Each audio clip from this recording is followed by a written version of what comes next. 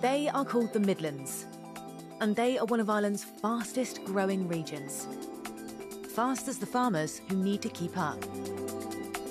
People are looking at different ways of farming, um, different ways of producing food. I think the way climate is changing, farming also needs to change. We need to learn different ways of farming.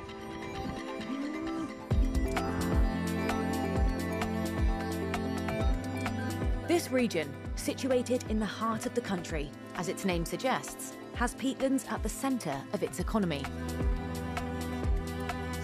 Peatlands make over a fifth of Ireland's landmass, but the way they've been used so far is now becoming a problem for the environment.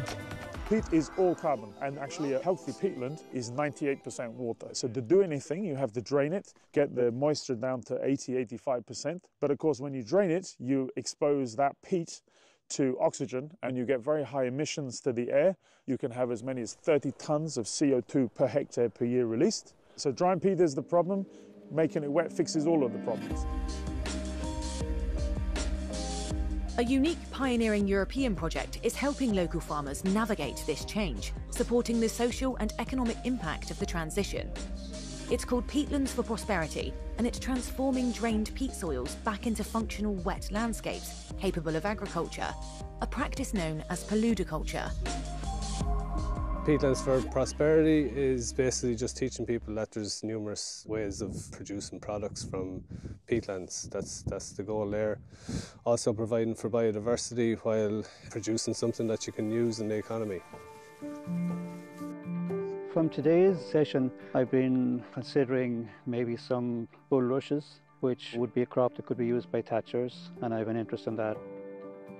Yeah, that's one plant. Uh, I will certainly read the literature that we got today and consider other plants as well. Peatlands for Prosperity is one element of a broader strategy aimed at securing the economic future of the Midlands. The €300,000 Euro budget was jointly financed by the EU and the Irish government through the EU Just Transition Fund programme, an instrument under the European Cohesion Policy that has so far supported over 170 projects across the wider Midlands region. There's multiple projects that are going in tandem with this and what we're trying to do is we're trying to plant seeds so that the sustainability of these communities going forward are there and that they have a future here in the Midlands.